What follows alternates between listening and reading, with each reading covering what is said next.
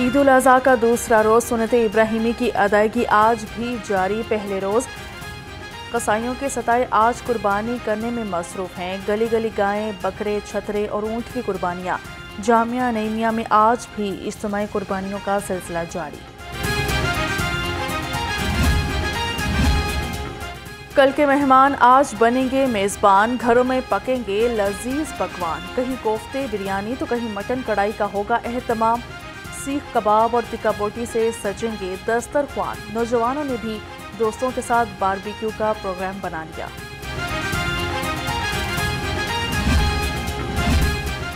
ईद उल अजहा के दूसरे रोज़ भी सैर सपाटों का प्रोग्राम, शहरी पार्कों और तफरी गाहों का रुख करेंगे।